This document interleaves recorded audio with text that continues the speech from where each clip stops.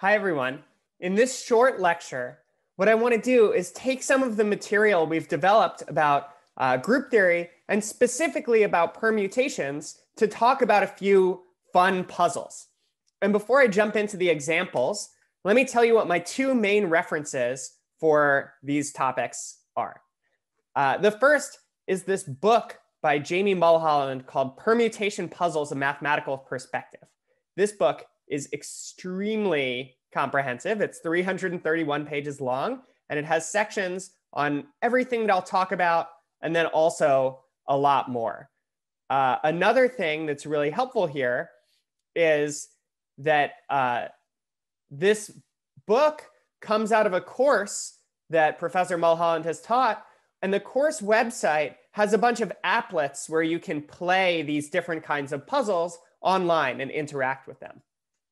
So the other main reference that I have is notes by Keith Conrad on the 15 puzzle and the Rubik's Cube. So I'll put a link to both of these and all of the other uh, resources for this video into uh, the summary of lectures page on the course website. So the first thing I want to do is get started by talking about the 15 puzzle. So I'm just showing you here that this is the class web page related to the 15 puzzle from uh, Professor Mulholland's class on permutation puzzles in mathematics. But let's just jump in and play around with it. So how does it work?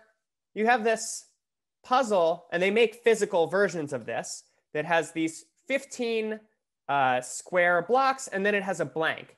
And the rule is that you can exchange the blank with any up, down, left, right adjacent square in the puzzle. So like you can slide the 15 into the blank, and then you can slide the 11 down into the blank, and then the 12, and then the 15. And what we've seen now is, you know, we did a couple of moves, a couple of slides, and the blank is in the same place, but we've permuted the 11, 12, and the 15. we keep going around, we can unscramble back to where we started.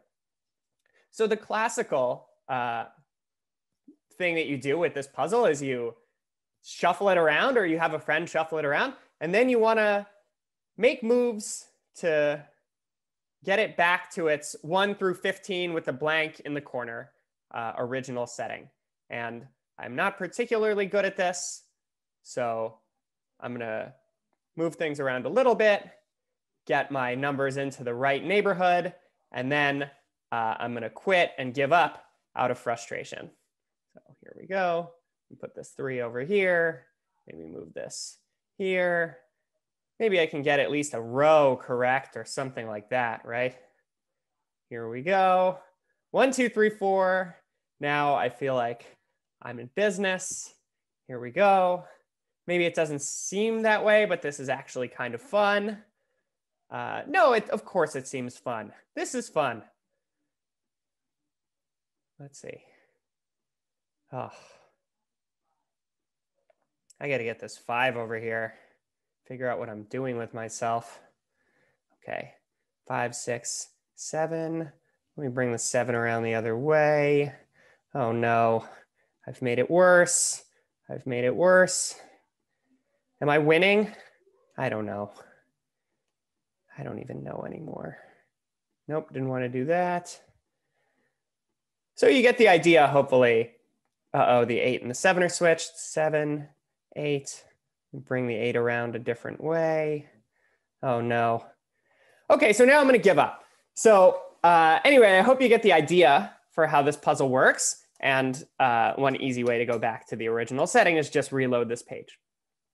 So this went through a sort of craze uh, a long time ago where uh, people got hooked on the 15 puzzle. And there was a challenge that was set that what you should do is start with the regular 15 puzzle, switch the 15 and the 14 tile, and now get it back to the original solved state. And there was a mathematician who offered a prize, or a mathematician slash puzzle creator who offered a prize and said, I'll give you a $1,000 if you can solve this and explain how you did it. And the punchline is uh, no one claimed the prize because it is impossible. And you can use a little bit of the group theory that we've developed with the symmetric group to see why this is the case. So what's going on? You can think of these 16, these 15 blocks. Let me go back to the original. You can think of these 15 squares together with the blank as 16 things that get permuted when you move blocks around. So let's just call the blank the number 16. So what have we done? We've taken the thing that started in position 11 and sent it to position 15. We've taken the thing that started in position 12 and sent it to position 11. We've taken the thing that started in position 15 and sent it to position 12. And then the 16 ends up back where it is. So in this way, you can understand the set of all configurations that you can reach in the 15 puzzle as being uh, a subset of S16, the symmetric group on 16 elements. So going back, what's really happening in the 1514 puzzle is you have uh, these 15 numbered blocks, and then you have the blank. So one thing you could consider is not all the symmetric, all the uh, permutations of these 16 elements, but the subset of them that leave the blank in the lower right corner. So you move everything around, the blank is somewhere, and then you slide the blank back into the lower right corner. And what have we got? Now we've got a permutation in S15. So which permutations in S15 do you actually get? For example, can you get the one that is just the transposition 1514. And uh, I'll let you think about it and I'll point you to these references, but the end result is no, you don't get every permutation in S15, you exactly get A15. You get the subgroup of even permutations. And one way, let me say this a little informally to understand what's going on, is every move is a transposition of 16 elements, right? So in S16, you're getting this transposition uh, where I'm taking the, the transposition that I'm getting, if you write a permutation as a product of all of the moves so far, the important thing is not to say, okay, now I'm switching the blank and uh, the thing in position two, the fact that the blank is in position three now is not the most useful way to think about this.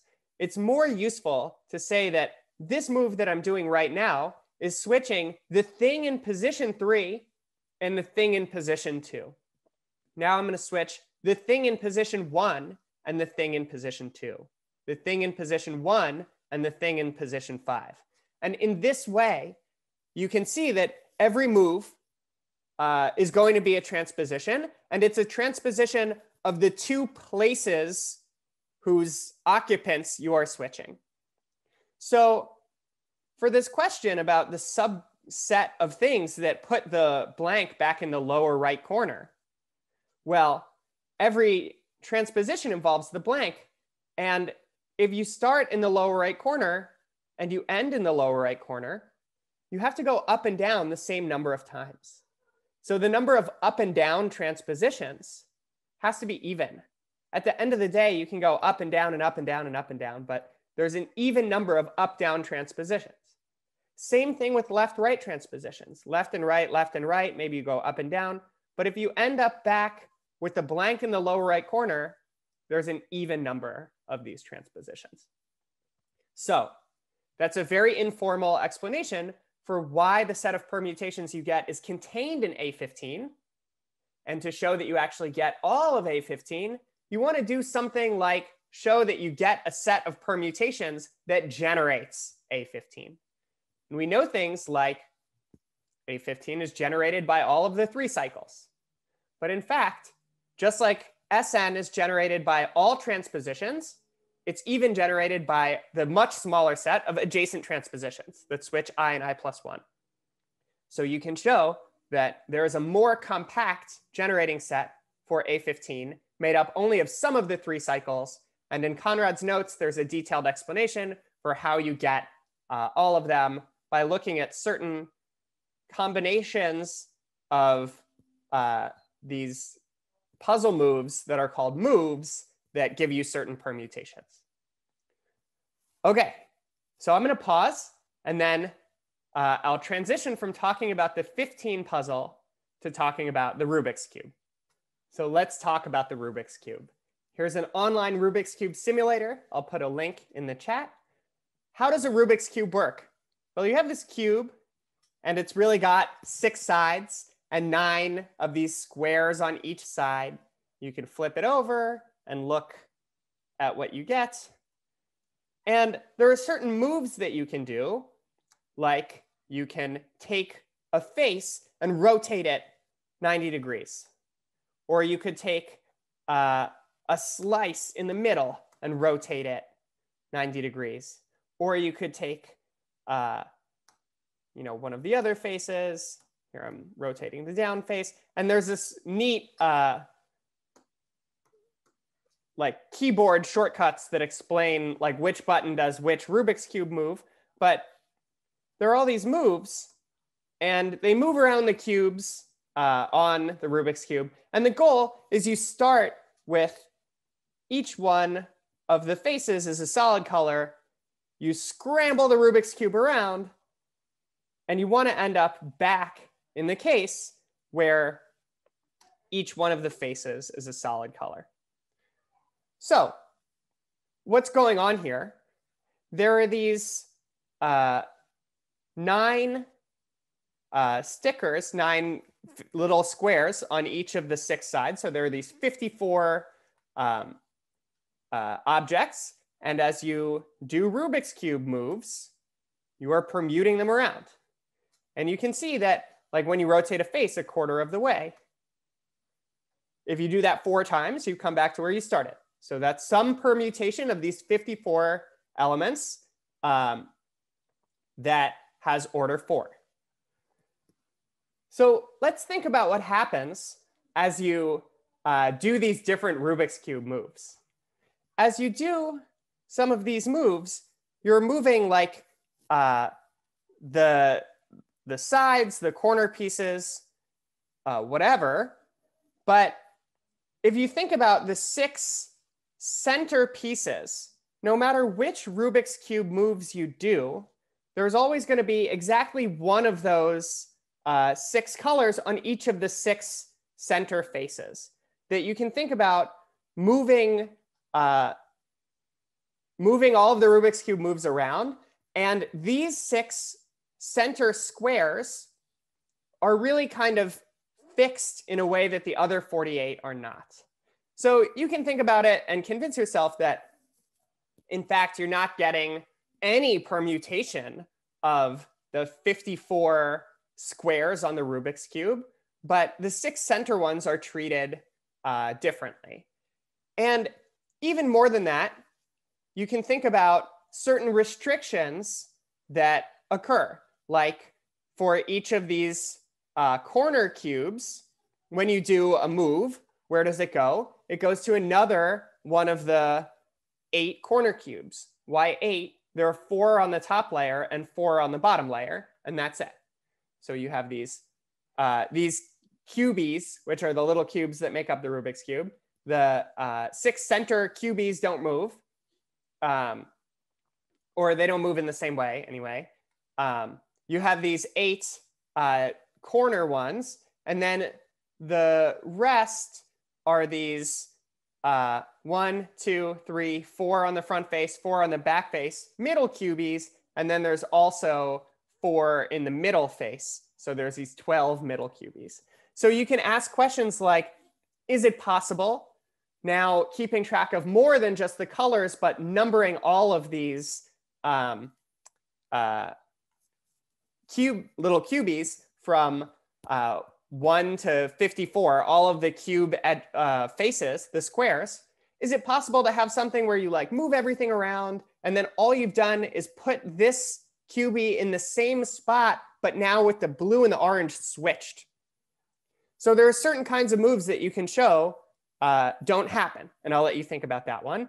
And to give you an idea of what goes into this kind of analysis, there's this really um, detailed, extensive notation for Rubik's Cube moves. So uh, this is this Singmaster notation where it classifies all of the different kinds of moves and you can write um, permutations as compositions of these moves. There's the front face, back face, right face, left face, up face, and down face.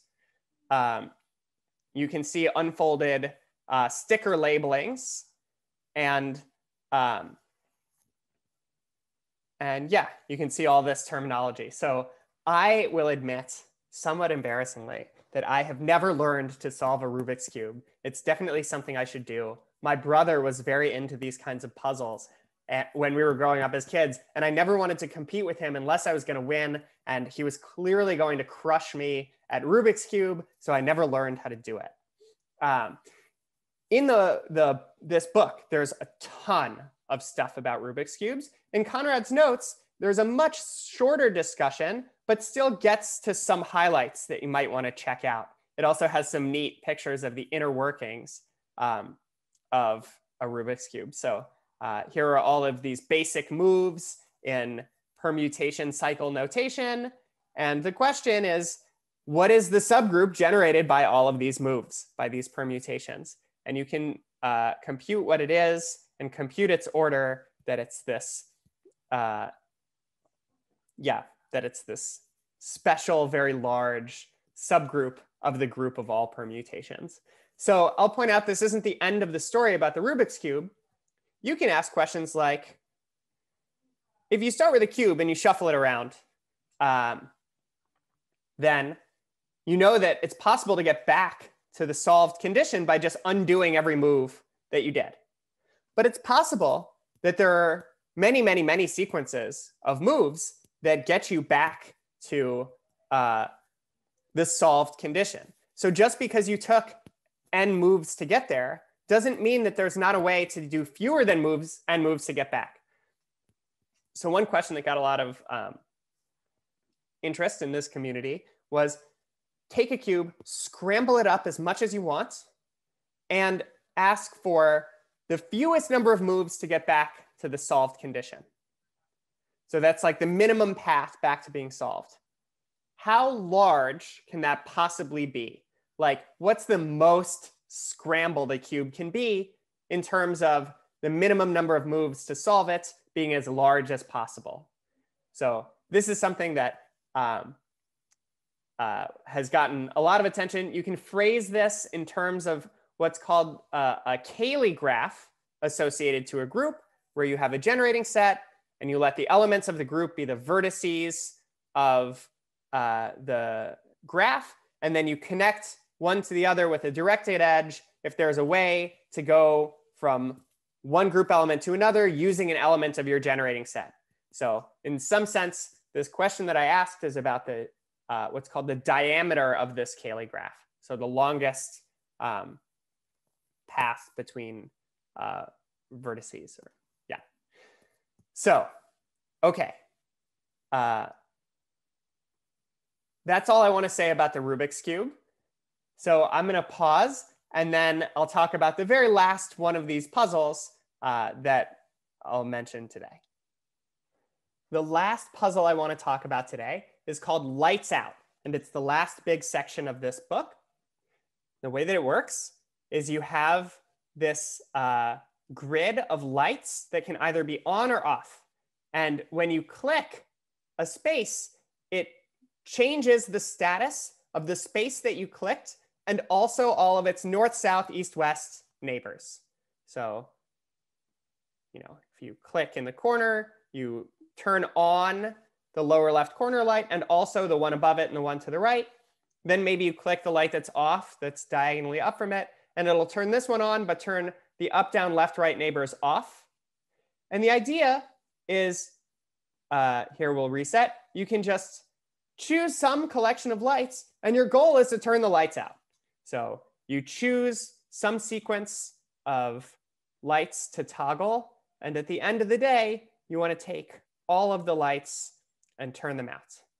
And this is not about a set of permutations in the same way as the previous puzzle.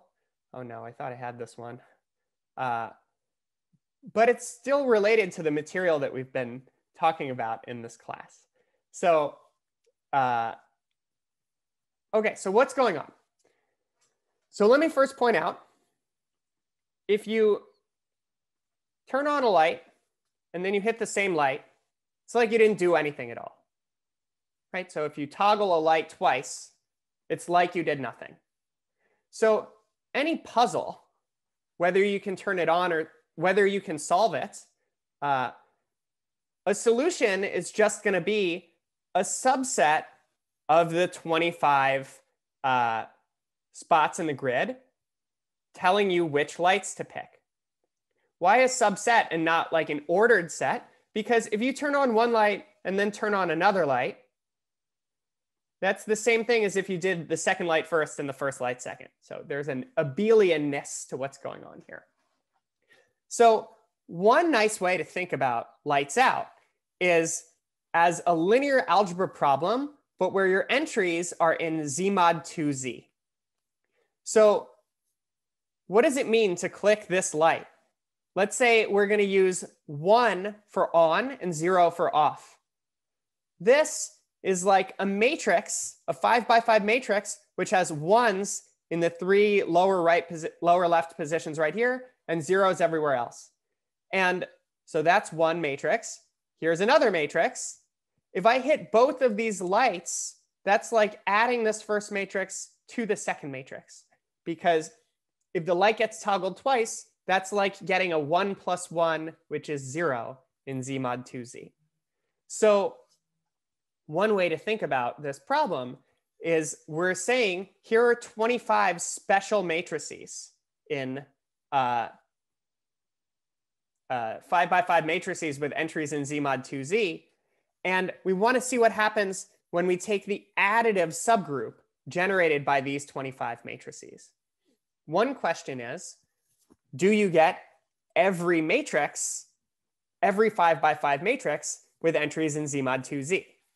If you don't, how do you describe the set of the ones that you do get? So uh, it's definitely a subgroup because it's generated by 25 particular matrices, but which subgroup is it?